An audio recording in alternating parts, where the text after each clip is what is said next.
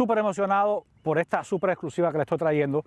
Lo único que para publicarlo ahora y no esperar hasta el 6 de abril, no puedo dar mis impresiones de manejo porque tiene un embargo y hay que respetar el embargo, si no después no me invitan a otros eventos. Solamente le voy a describir lo que estoy viendo acá. Totalmente nueva por dentro y por fuera. Acá no hay nada de lavado de cara, como por ejemplo la Eclipse Cross.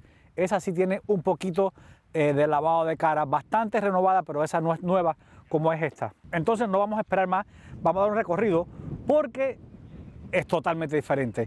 Tenemos que viene sobre la plataforma que se llama Alliance. Esa plataforma la está compartiendo, por ejemplo, la Nissan Rogue tiene esta plataforma, pero esa plataforma la crearon nueva el año pasado. La tenemos aquí ahora, también la tiene Renault, si no me estoy equivocando en lo que estoy diciéndole, pero esta es la 2022 Mitsubishi Outlander.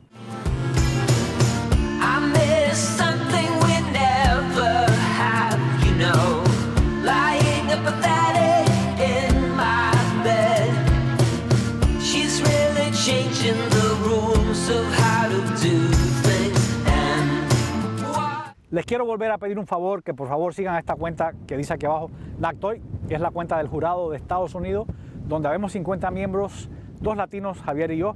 Ahí escogemos al auto del año y eh, son periodistas muy importantes de todo el país. A mí me dieron el privilegio de llevar la cuenta de los medios sociales de ellos, la llevo yo. Entonces necesito que me apoyen en esa cuenta la gente que no siga NACTOY, por favor si la pueden seguir, se los agradecería mucho, mucho, mucho, porque así esta gente que la mayoría son todos americanos ven, dice, mira lo que está haciendo el, el Latin Boy está allá, está haciendo un buen trabajo. Creo que estamos haciendo un buen trabajo, así que apóyenme por favor.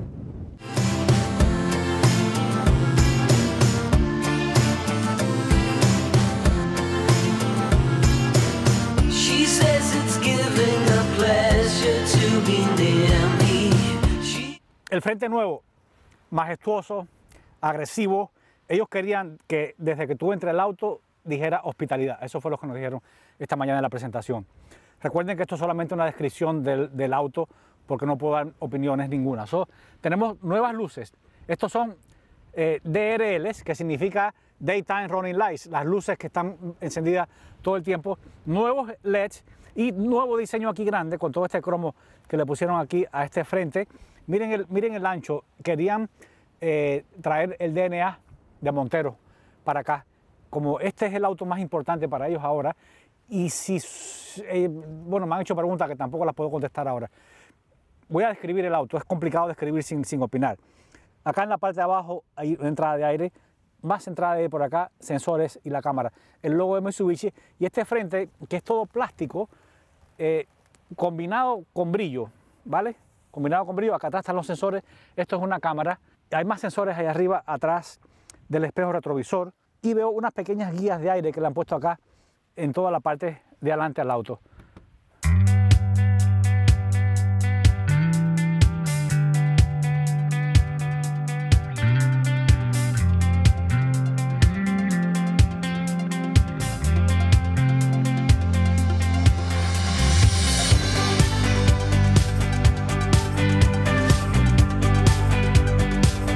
Hay una tercera fila de asientos que según Mitsubishi es exclusiva en el segmento, es esta. Las camionetas SUV medianas, casi ninguna tiene una tercera fila de asientos. Esta sí viene equipada con esta tercera fila de asientos. Y esto se divide 40, 40, 20 para que puedas bajar la consola central también, porque a veces tú puedes poner, eh, según nos explicaron ellos, algún objeto largo sin, sin tener que tocar los asientos laterales. Pero esta es la tercera fila de asientos aquí en la Outlander. Veo que trae aquí atrás donde poner tus copas. Y después haremos un video opinando de todo, ¿no? Ya aquí en la tercera fila de asientos, los materiales de atrás son los mismos que están usando acá. Veo que tenemos unas pequeñas eh, bolsitas aquí arriba que no lo había visto yo en ningún auto. Y me imagino que aquí yo puedo poner también el celular. Sí, aquí están. Y las grandes están abajo. Hay calefacción para los asientos y salidas de aire acondicionado. Esta es la tercera parte donde puedes poner dos copas y cuando lo abres tienes un asiento completo acá. El techo solar llega hasta aquí, casi casi arriba de mí, una agarradera para aguantarte.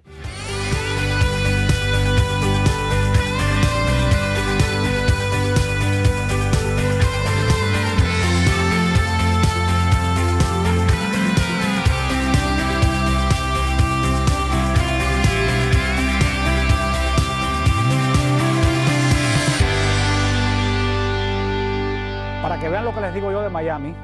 Acaba de venir el policía del parque a decirme que estoy pisando la hierba. Ustedes piensen que están destruyendo a Miami Beach hace una semana, pero destruyéndola completamente y vienen a joderme a mí que estoy trabajando aquí tranquilo, no estoy pisando la hierba. Analicen ese detalle cuando me vayan a decir otra vez que sí, siempre lo hago en el estudio. Anyway, 181 caballos de fuerza, 181 libras-pies de torsión y esto no viene con un cobertor. La subida no es hidráulica, tenemos el, el palito para aguantarlo. Viene equipado con un motor 2.5 litros, 4 cilindros de inyección directa. La transmisión es de 8 velocidades CBT. CBT de 8 velocidades. Esa es la transmisión que viene equipada. Yo pregunté, pregunté detalles sobre la transmisión. Me los contaron, pero no se los puedo contar a ustedes, ni les voy a contar a ustedes tampoco lo que estoy opinando en este momento yo del auto, ¿vale?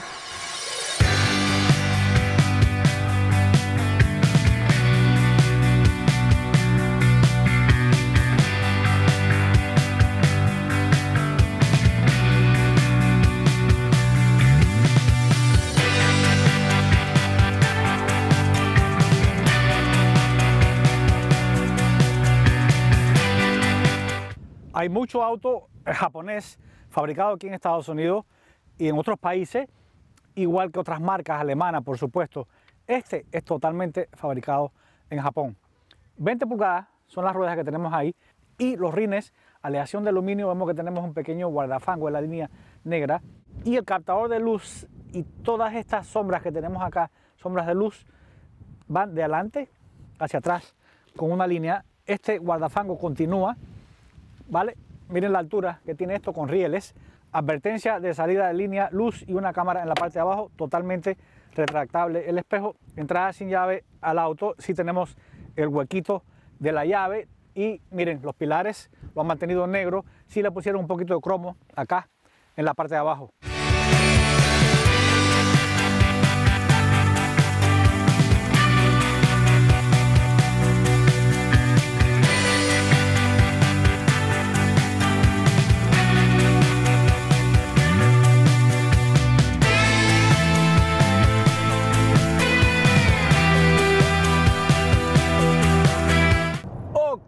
Después de tanto tiempo y pensando todo el tiempo que la marca Mitsubishi va a desaparecer, se aparecen en el mercado con esta totalmente nueva, totalmente rediseñada. Aquí no hay nada de nadie, la Outlander. Toda con esa herencia dura, dura, dura de la Montero, desde el frente, el interior, pero también con la elegancia, porque esta es la abanderada de esta marca. Y lo recalcaron muy bien, es la abanderada de la marca.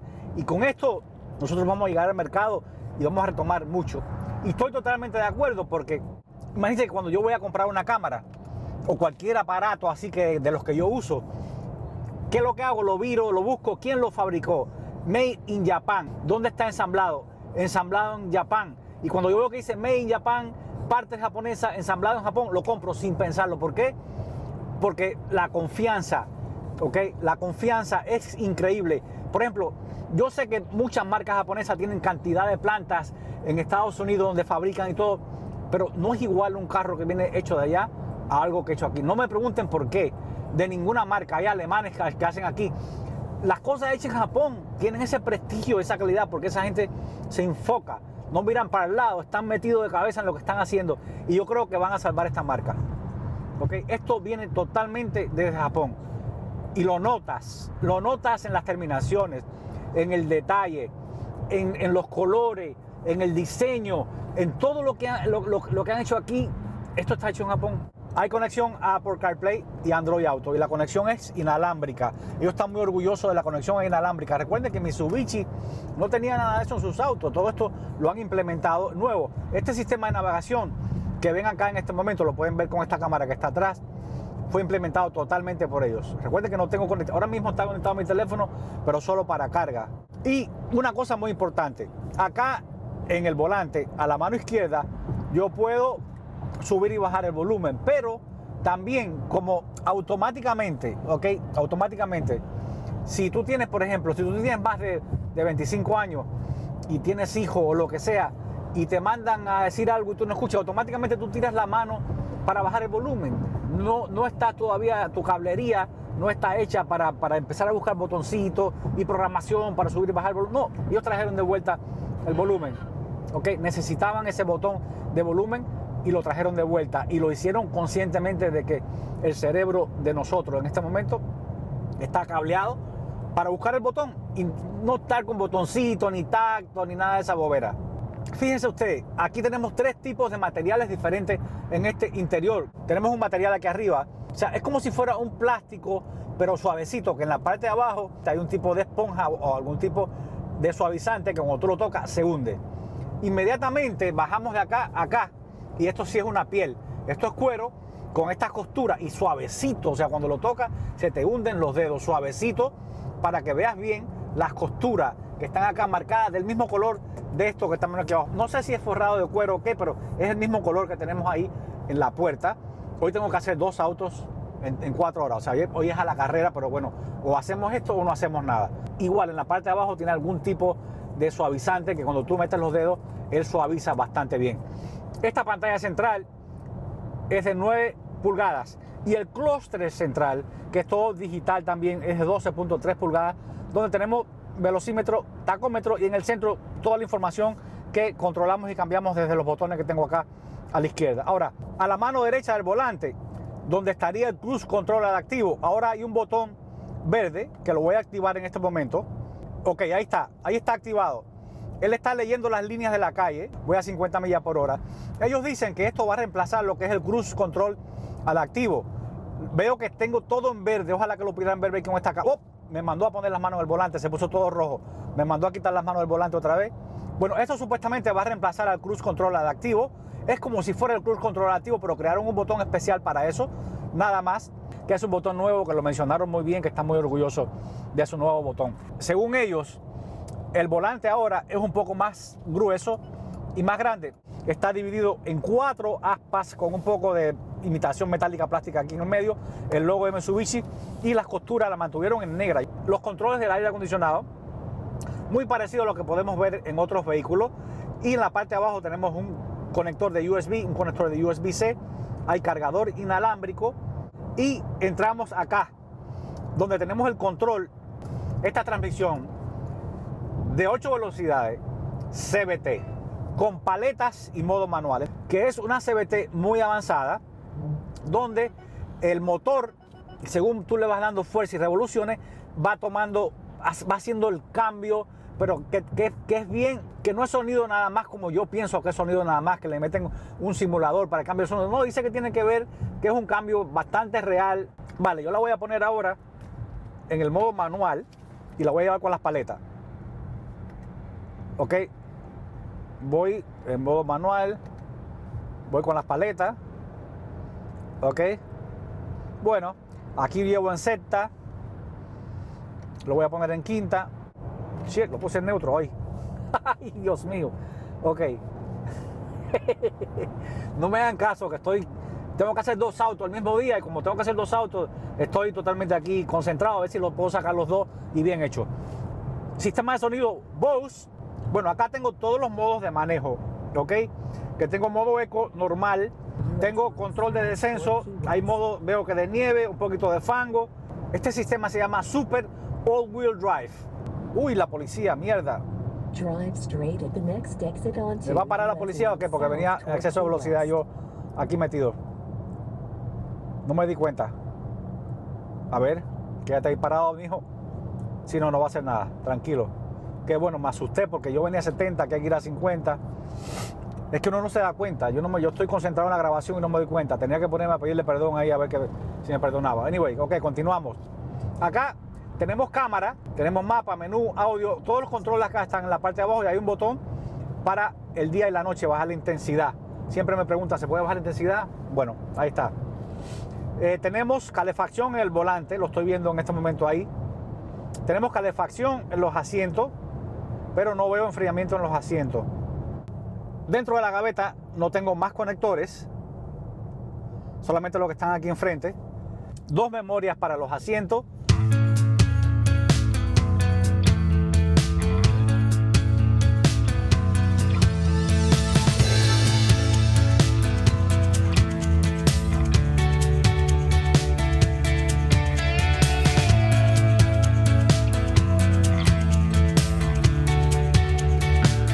Aquí tengo en mis manos, este es el Maruni del auto y dice que es para propósitos de prueba solamente. Y el precio que dice aquí, que puede, me imagino que puede cambiar, como es para prueba, 37.995. En la parte de atrás, la descripción de Mitsubishi fue que estas son luces LED, pero imitan al 3D en su diseño. Hay dos, eh, lo que parecieran salidas de aire, pero las salidas de aire en verdad están en la parte de abajo. El logo de Mitsubishi, SEL, y aquí dice SAWC, que significa Super All Wheel Control. Es un sistema de All Wheel Drive que viene equipada la Mitsubishi Outlander. Así que bueno, ahí la tuvieron. Sin opiniones mías, ¿ok? Haremos otro video más adelante donde yo pueda opinar de todo lo que ustedes han visto aquí. Eh, pero para que lo puedan ver ya desde ahora, en súper exclusiva en mi canal, ahí la tienen, la Outlander, totalmente nueva por dentro, por fuera, 2022. Sígueme en Instagram, Al TV, sígueme en TikTok, Al TV, y nos vemos la próxima.